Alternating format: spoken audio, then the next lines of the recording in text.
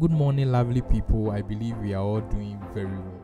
So this morning we woke up to a news that a lot of people has been anticipating and expecting because it has been some sort of rumor in the corridors of the entertainment industry that our dear queen, lovely, beautiful diva Nana Ama McBrown will be going to media general.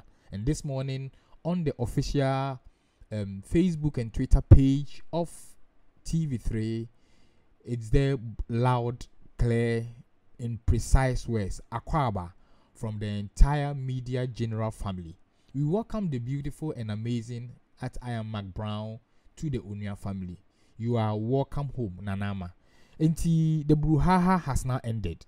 All the the uh, the, the the rumors ends today, and it's official that Nana Ama McBrown is now with the media general to work for Onua TV and Onua FM.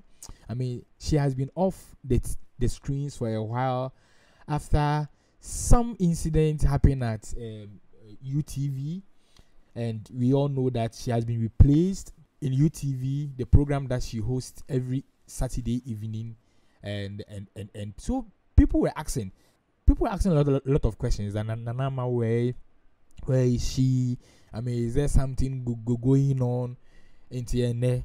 we are here to inform you that yes, Nana Ama McBrown is now with Onua TV and Onua FM. We wish her all the best with this new adventure, and we hope she continues to be herself and delivers a top-notch um, quality, you know. And we hope and pray that she continues to deliver the way she does everywhere she goes, and even better. You know, the entertainment industry needs people like her, and so there's nothing wrong moving from one giant of the industry to another giant that is media general. As usual, please like, comment, and subscribe. Click on the notification button so that we give you all the best in updates when it comes to entertainment in Ghana. And people, bye bye.